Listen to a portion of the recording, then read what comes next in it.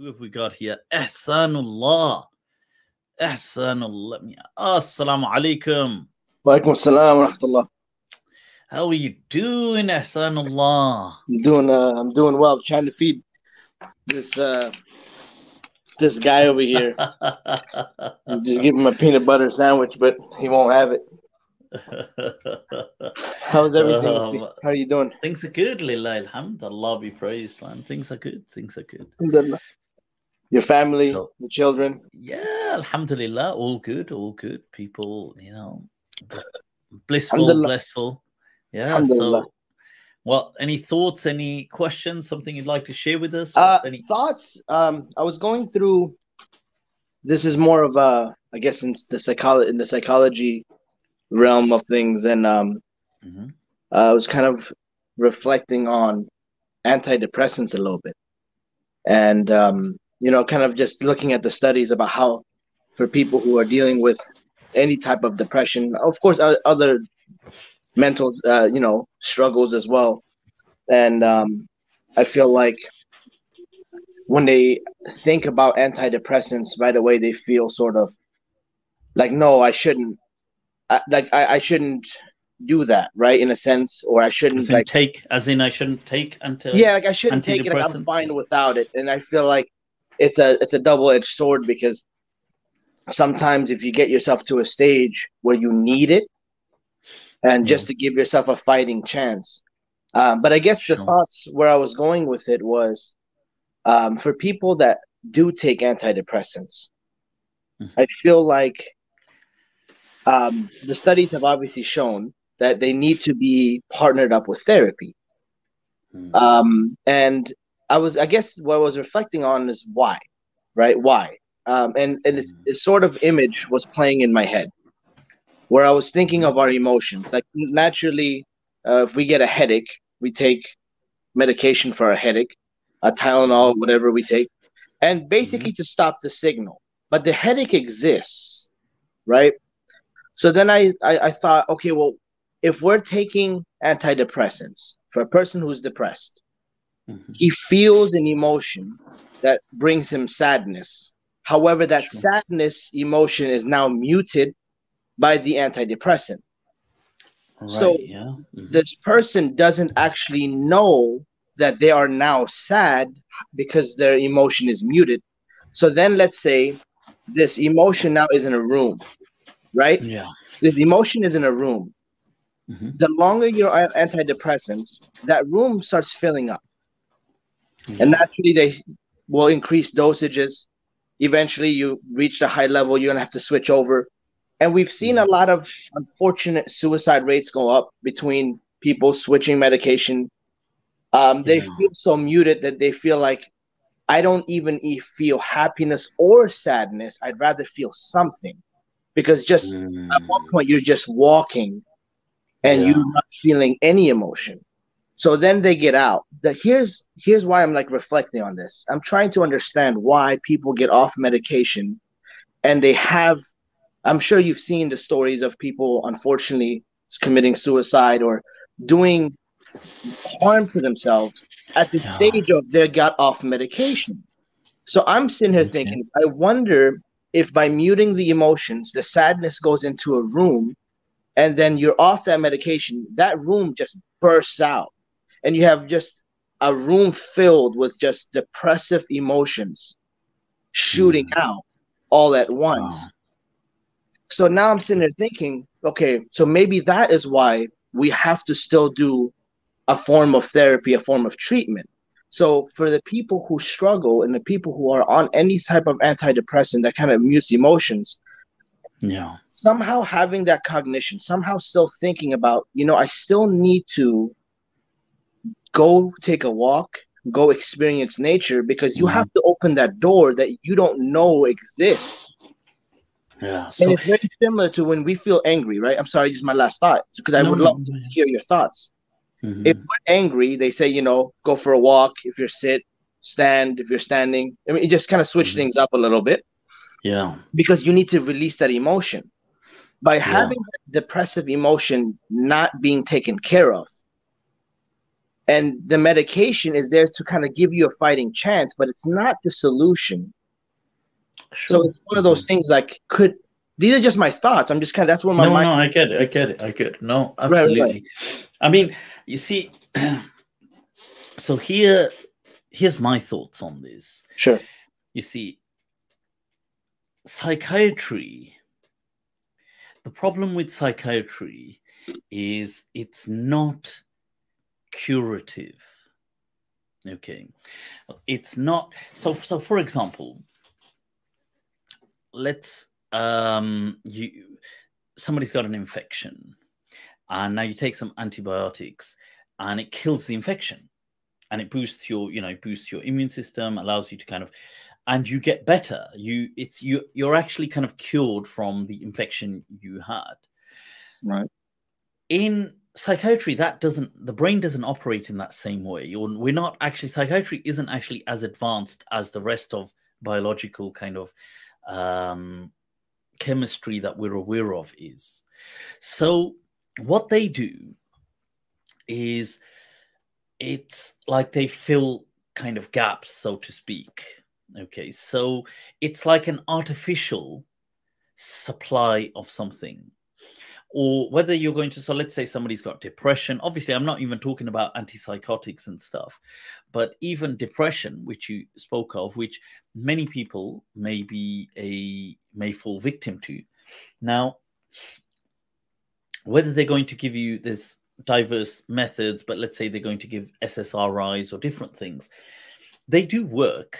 They work but they're not curative because they're not actually curing the problem, but they are kind of just they, it's kind of like a plaster or like a band-aid as you say.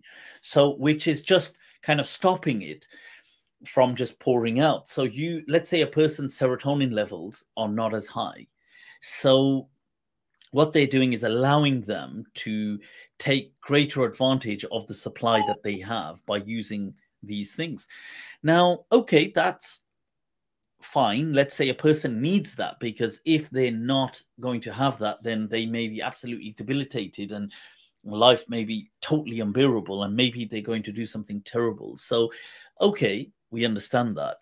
But what are the the natural or the actual are there any curative steps to actually help strengthen this person's actual organic system so can they themselves do something. So when you said things like take a walk or do these things, these things naturally do boost your own uh, your own kind of systems that you've got within. They improve your overall health. They lift your mood. Uh, even therapy, therapy does that. So even talking with people. And another thing, I don't. I tell you what, I uh, don't like. This is me now, and I could. This is my personal perspective is this curative side. You see, psychiatry, and even, and this by extension is greater than psychiatry now, this is the whole kind of uh, pharmacology.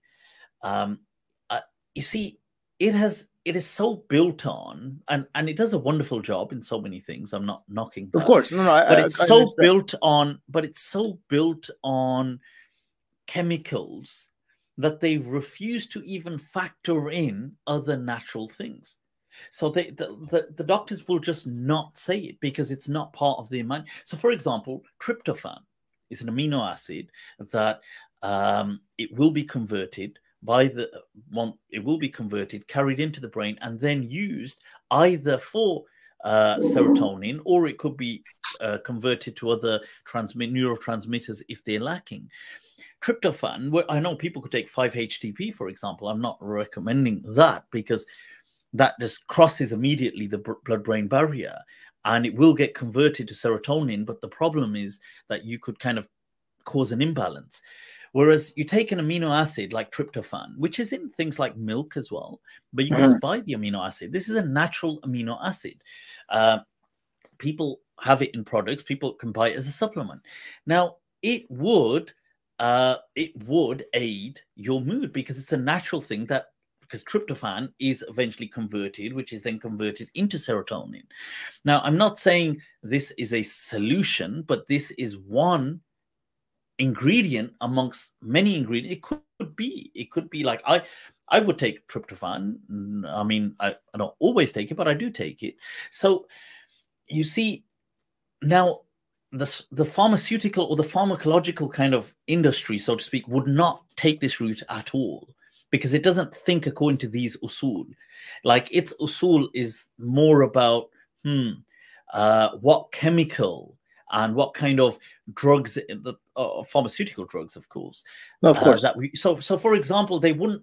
And I'm not saying this is the answer, but I give you an example. So let's say I was once speaking to uh, a friend of mine, a doctor, talking about something, and I said, "Well, um, what about let's just say in a certain thing uh, this is not about the brain now i'm talking about just general health.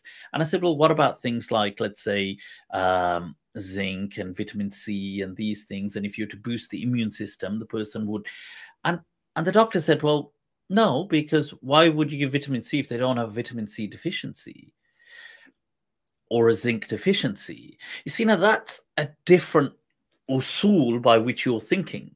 Like it's been so institutionalized that you only think in deficiencies.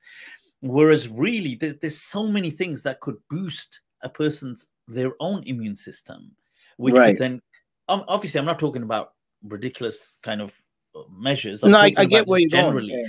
There's a methodology by which, you see, when a person goes through so much institutionalization, they have to think and even if doctors don't think like that, they would have to think like that because they can't prescribe things that are out of the box. Otherwise, they'd get in, they'd get into trouble themselves.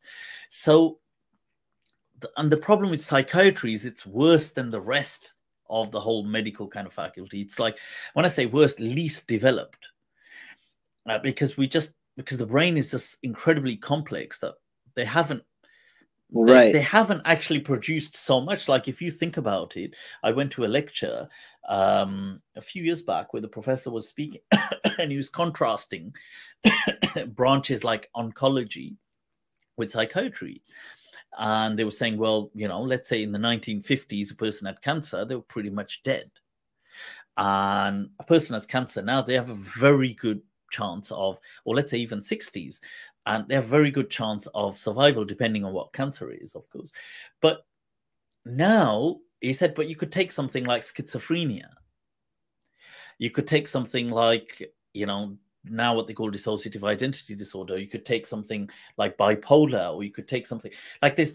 There's still really nothing that I mean, all you do is, you know, you might give a person a certain amount of Valium or a certain amount of something, and you're kind of just sedating them, and you're kind of certain antipsychotics that suppress certain modalities within the brain. I, so I guess not... that's where I was going. You know, I feel yeah, like but it's not actually solving. Curing. Right. Yeah, so I feel like solving. there's so many people in this field that I'm coming across that are on a type or a form of antidepressant, but they're not in actively engaged in therapy and that's a that's a very big problem in this world in this field because it's it's it's one of those things where someone's taking creatine hoping to build muscle uh, but not going to the gym it, it's one of those mm. things where like okay so you did something but there's a significant step missing and mm. i feel like by taking an antidepressant you are taking a step see i'm not trying to downplay yeah. it mm. you're absolutely taking a step but the dangers of muting an emotion, but the emotion is still happening within you. It's just going into a closet and you didn't even know that closet existed. You think you're not even feeling a depressive emotion. However, you are, and it's inside you. And the moment you're off these antidepressants, these will shoot out all at once. I, I have known people who have been on antidepressants and when and they came off them and they were um, they were fine and they did manage to, you know, they, their life is on track from what I'm aware of. That With or without I, therapy? I'm sorry. You see, uh, uh, I, I'm not so sure. I don't because because I, I've not followed their lives that closely. Sure. Okay, but I, you see, but I am as a person, I'm very scared of things like antidepressants and uh, and i'm not trying to say that these things are not helpful i think they are and wherever if it helps someone and it will make a difference then alhamdulillah but i would always advocate that if they are going to take it, then like you're saying, I would always advocate that the human side, because we have within us certain mechanisms that will kind of, so to speak, reboot themselves. We will, you know, like you said, like nature, like you said, go for a walk. Uh, it sounds so cliche, but the, like somebody the, could say, "Well, the, what, what happens in a walk?" But it makes it makes a huge difference. Going for walks is an immensely therapeutic uh, process. You know, just in the company of friends, laughter. I mean, there's things that you see.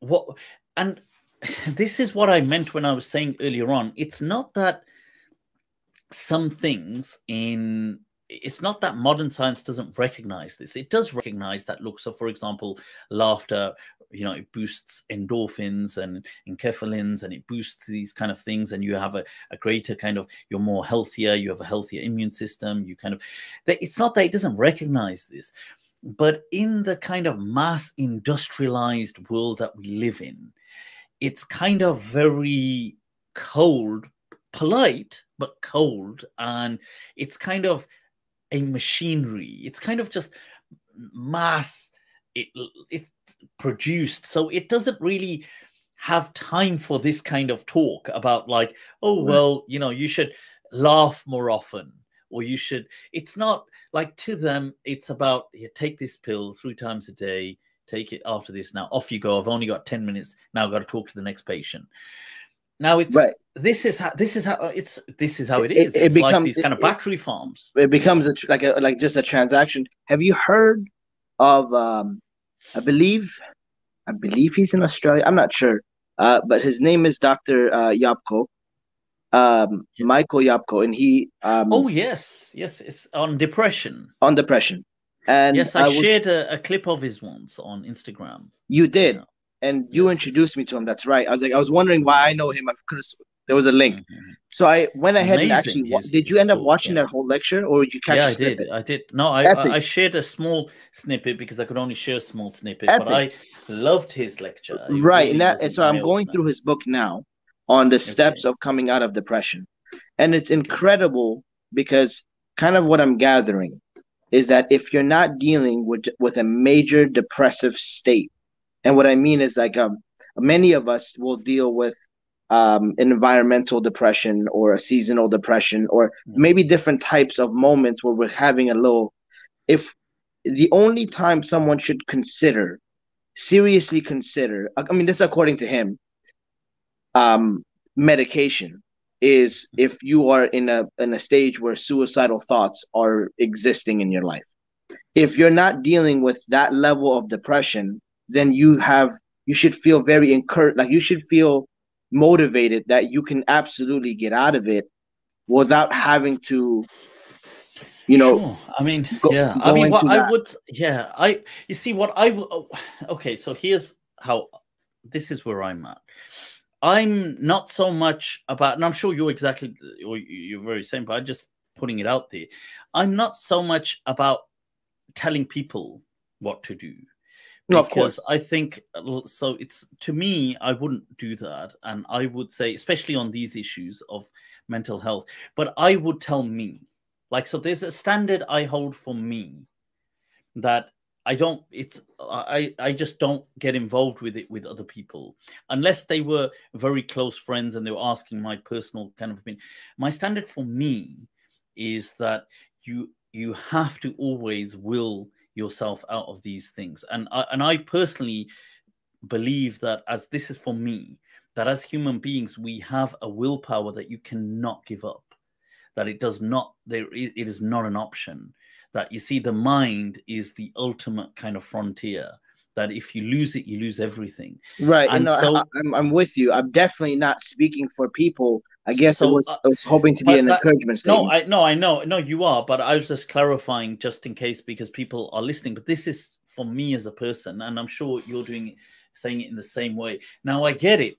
Some people may say that look, they are not in that fortunate position to have that willpower and to have and this is why for them whatever works do it follow the, the local kind of medical advice and do all of that but I, in addition to that, I feel it's incredibly important the things we were saying, the human elements, the things like just which which is therapy, like just talking to people, talking, nature, these small things, having that kind of uh, just having that internal fight. That yeah, I think in this world uh, currently, we have to ask ourselves a very simple question: in is how do I very like individually have fun and do it?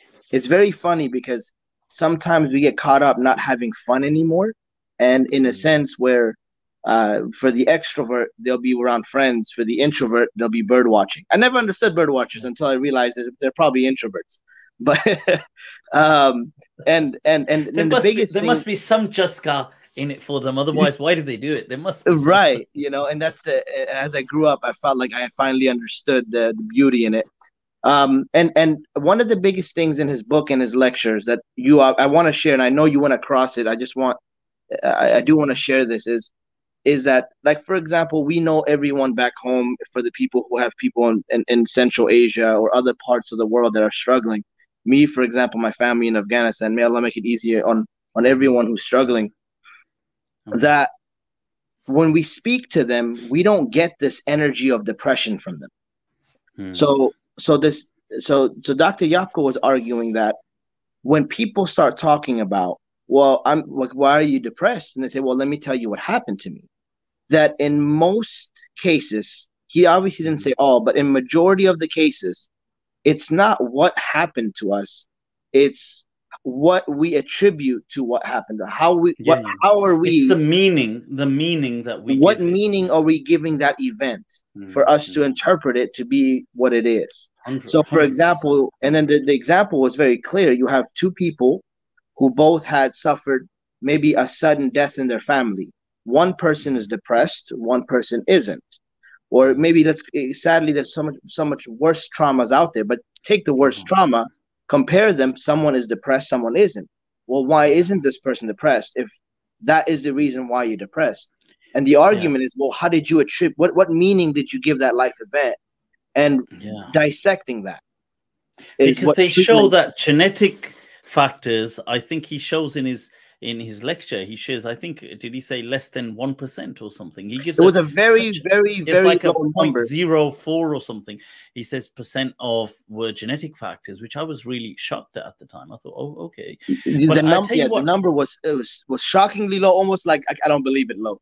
Yeah so uh, and another book that opened my mind on this was really uh, viktor frankl's uh, uh, man's search for meaning because really, you know, when he that is a book that I really encourage people that if you, especially if you're if you're going through any kind of like depression or if you know somebody who is, it's not a difficult book. It's not a big book. Viktor Frankl's uh, Man's Search for Meaning, because he was a psychologist who was also caught up in the Nazi concentration camps. He then he survives the camps and uh, eventually goes on to America, to... and he kind of treats people and he and the book isn't about his even though he does give make references to the concentration camps but it's not like a diary.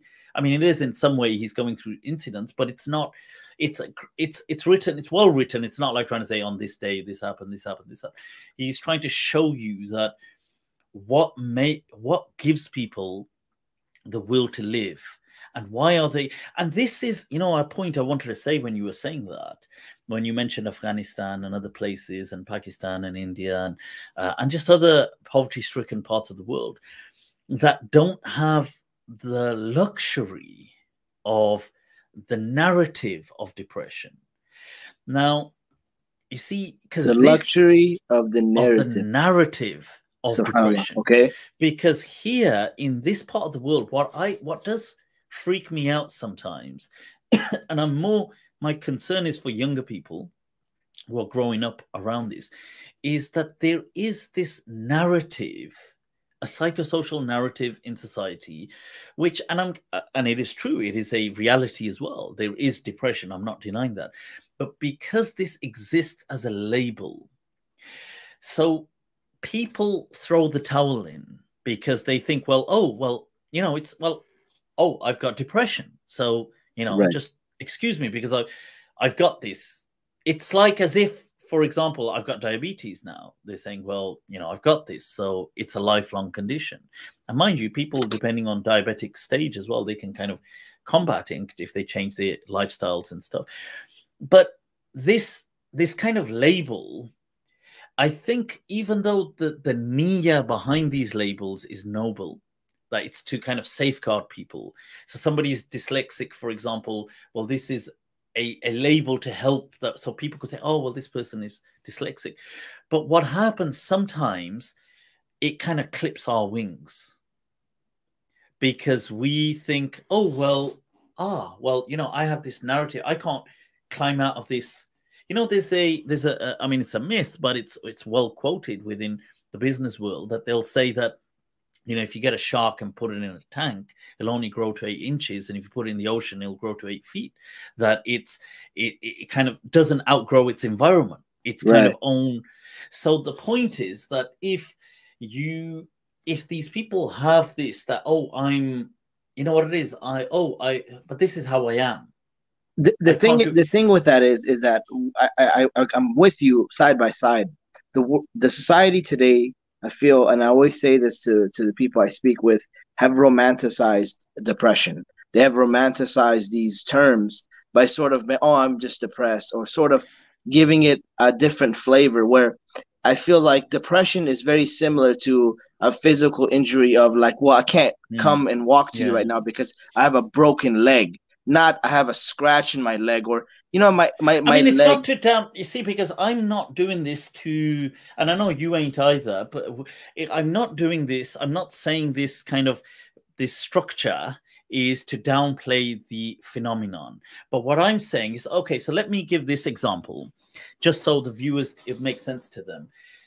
Something happens in, let's say, here, or, or where, what city are you, what state are you again? LA.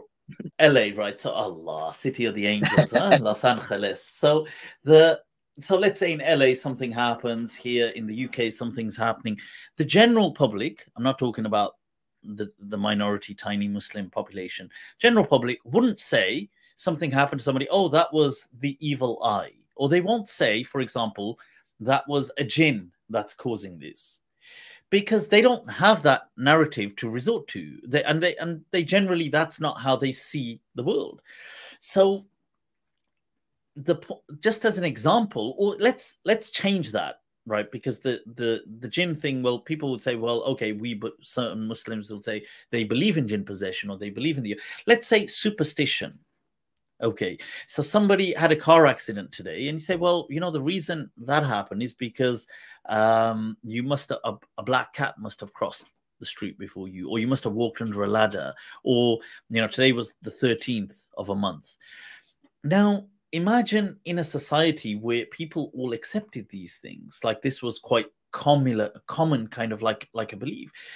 It would be very like you couldn't it's not what I'm trying to say is even the, the tragedy is real, whatever happens, but people assign to it these things.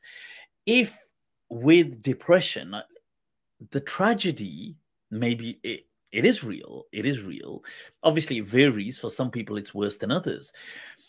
But if they didn't have, like, if you put that same person in a different environment with this psychosocial Uh, uh, uh, this luxury narrative didn't exist that totally excused them, what would happen is the person would think, right, something's wrong. They would think something's wrong because I don't feel right. Right. Now, they're going to think, well, I need to fix it. And I get the fact that, you know, you may need medication, you may need therapy, you may need this, but they, it's not a label for life. It's not like a condition, it's not an identity. Like in saying, well, you know, oh, you are this person, you know, you are clinically. Oh, 100%. Not, not, absolutely. Whereas it, it does we're not that in a lot of these, in these, in many of these societies, it does become an identity. Well, I'm just you know, depressed or I'm just uh, many of these conditions. I don't mean the full on stronger side of mental health with actual psychotic uh, um, you know illnesses i mean on this side the lower end of depression or people having even some some of these other kind of mild learning difficulties that people have some so there was a study in the uk several years back when i was doing my psychology degree where they took a bunch of children that had dyslexia and they worked immensely with them for i think six months and by the end of the six months, they no longer had dyslexia. Now, this caused a huge hoo ha, and the dyslexia, I've forgotten what, what it was called, the Dyslexia Society in the UK, it, it kicked up a huge fuss, and I think it wanted the program taken down.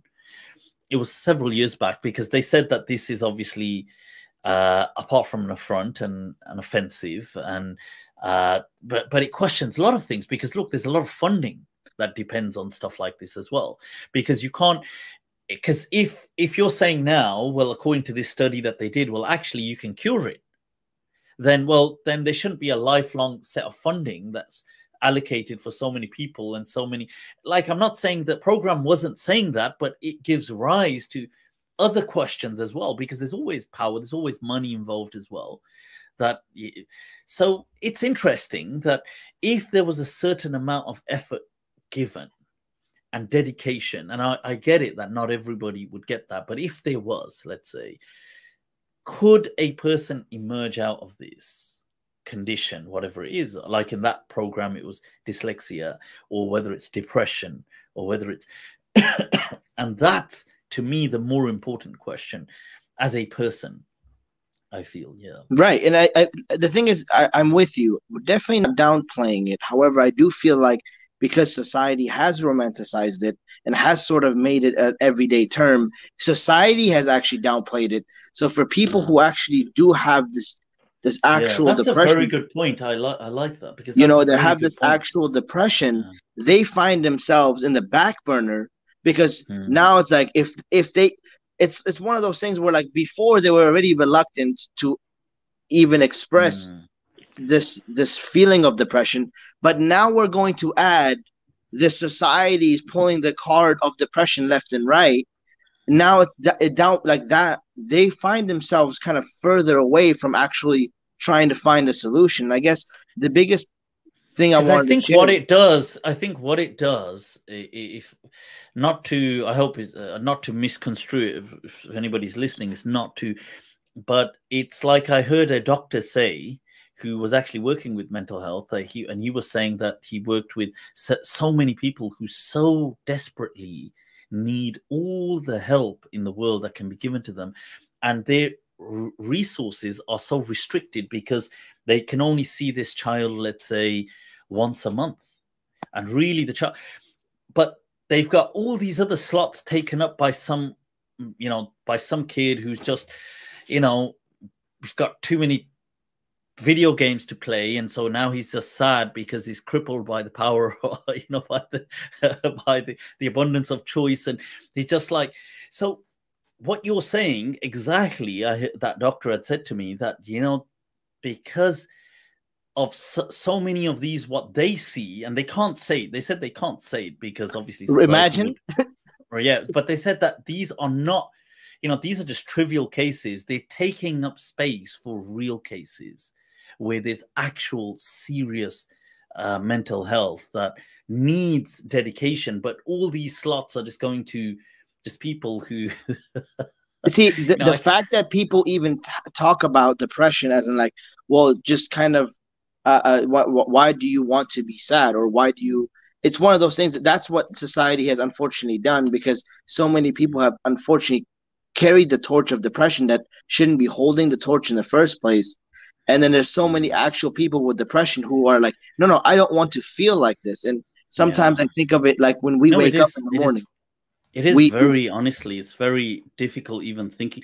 There was a um because it's the you see because people it's this thing of like you this inability to snap out and just being stuck in this. There was a, a movie. What was it called? Actually, it was uh, actually that was a very dramatic kind of. I, I, I don't think I watched it. I think I just watched a small amount of it years back. Was it called something like the Gobbledygook or something? But it's this lady who's going through this immense kind of, and it kind of appears as as though it's kind of like horrific and stuff. But but yeah, uh, may Allah honestly make it easy for people because I think in many ways as well I, I saw this meme today which said parents saying that I do all this hard work so my kids can have it easy. And then it said kids then have it easy, and the parents are like, you know, like, what the hell's wrong with you? because it's true, because we don't know it's scary, honestly. Like that that was your little one, wasn't it? And yeah, yeah. feeding the sandwich too. You know, it's scary because you think to yourself that, damn, you know, in many ways, because maybe we had it tough, it gave us a certain resilience. And and i hope and i pray that you know the younger generation have it i mean but it's sometimes mm. scary just seeing because on the same hand you don't want them to go through any difficulty damned if you do damned to... if you don't. It's scary man honestly. You know it, it, it's like waking up for a person and we're at the state of zero for our emotional and then we wake up and we'll do something we'll have a cup of coffee and we're improving our mood depressed people wake up with a negative 10 and they fight just to get to the zero. And they get to the zero and they didn't have laughter that day. So it's such a different for a person who wakes up at a stage of zero will never quite understand what negative 10 feels like on a daily basis. And just to that fight so that true. day to get to zero, and some many times you don't, you end up at negative six, you end up at negative three, only to wake up the next day at negative 10 again and that's the struggle. and, and, make it easy, man. yeah. Anyway, so I, we went on. I'm so sorry. No, um, man. it's been it's been good speaking to you. It's been a while. We got to catch up. So drop me a message. I'm almost we'll done coaching my season. We went undefeated, alhamdulillah. Okay. It's awesome. my first season coaching girls, and it was the uh, greatest, worst decision I've ever made. Love it.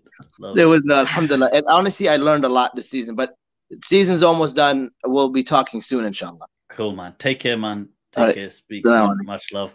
People all the way, Ehssanullah, Khushkhaki, all the way from LA, the city of the angels. Right.